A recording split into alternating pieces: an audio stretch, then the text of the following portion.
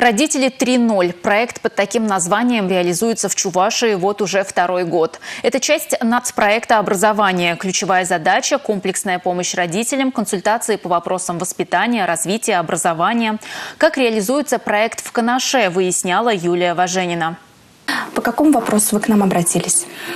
У нас в нашей семье возникла такая проблема. Это задержка развития угу.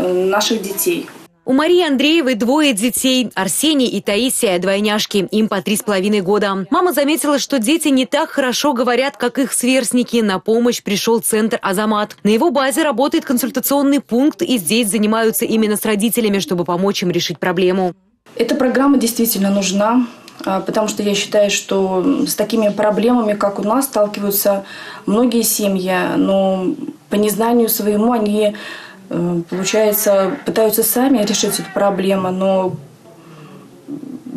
каждый, я думаю, что родитель должен понимать, что знаний-то своих ему недостаточно, нужно обязательно обращаться к специалистам. За время реализации проекта помощь получили более двух тысяч семей. Проблемы семьи Андреевых – одна из самых распространенных в центре. Важности и нужности данного проекта не возникает. Никаких сомнений, так как родители могут получить консультацию и онлайн, и по телефону. Многие из них носят профилактический характер, то есть многие проблемы, которые могли бы усугубиться, они решаются на моменте этих обращений. Азамат работает только по городу Канаш. Помощь по всему району оказывает Центр образования и комплексного сопровождения детей. Их направление деятельности обширнее. Специалисты, работающие в городе Канаш от нашего центра, они больше э, занимаются подготовкой школы приемного родителя, то есть кандидатов, замещающих родителей, будущих приемных родителей, те, которые готовы принять на воспитание в свою семью. Семья Портелли уже состоялась как родители. Они уже вырастили пятерых детей. А сейчас задумались взять взять под опеку еще одного ребенка. Для этого Антон и Надежда посещают школу приемных родителей.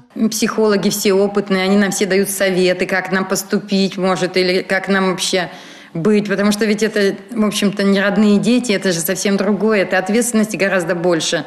И мы, может быть, не знаем, как надо, ну, в общем, с ними общаться и налаживать хороший контакт, как бы нам хотелось.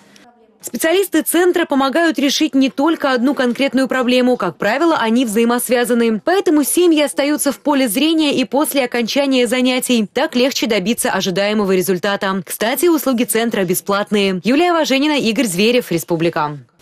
Оксана Ильина из Новочебоксарской школы номер два, победитель всероссийского мастер-класса учителей родного языка. Очный этап прошел в Москве. В нем приняли участие педагоги образовательных организаций, прошедшие успешно заочное испытание. Оксана Ильина преподает чувашский язык и литературу. Она победила в республиканском конкурсе учителей родного языка 2020 года. Всероссийский мастер-класс проводится с 2007 года. Он направлен на сохранение языков и культур народов России.